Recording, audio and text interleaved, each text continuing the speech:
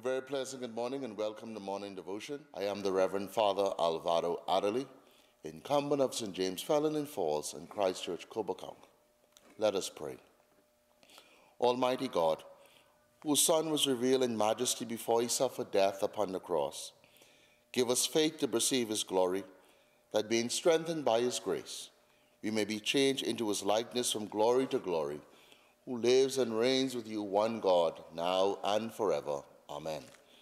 And now we say the prayer for Ukraine. God of love, we are discouraged by the violence in our world, and especially now by the acts of war in Ukraine.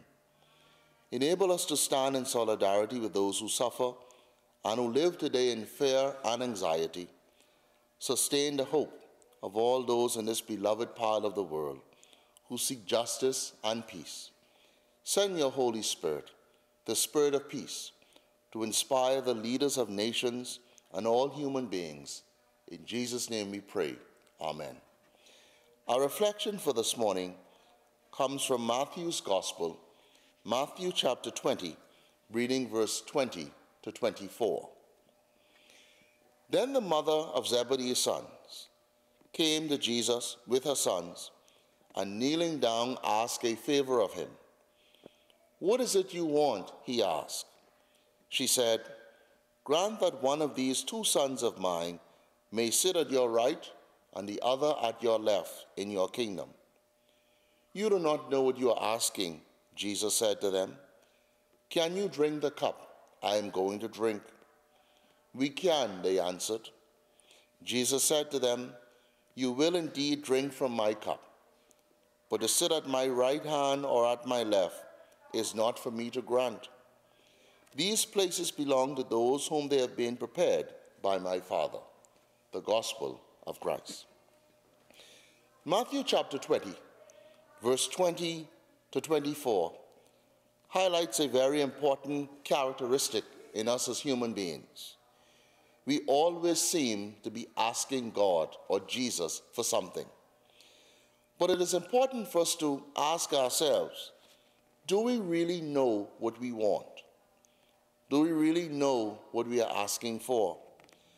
The mother of Zebedee's sons asked a favor of Jesus for one of her sons to sit on the left and the other to sit on the right. And Jesus, in turn, asked them, Do you really know what you're asking? Because sometimes the things we ask for in life can cause us pain. Some things we, we ask for in life can cause us hurt. Some things we ask for can cause us to be uncomfortable. And Jesus is challenging her, he's challenging us to know exactly what it is you're asking for and be prepared for when the answer comes. Be prepared for what God is about to bring or enter into your life. So as you pray today, I encourage you to pray without ceasing, but also pray with the acknowledgement of what you are actually praying for. What is it that you are actually asking God for?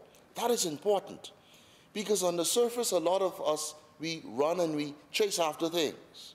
But when we get beneath the surface, we realize it's not for us. I want out. It's not what God has called us to. It's not what God has called me to. And that is because sometimes in our prayer, we are very selfish.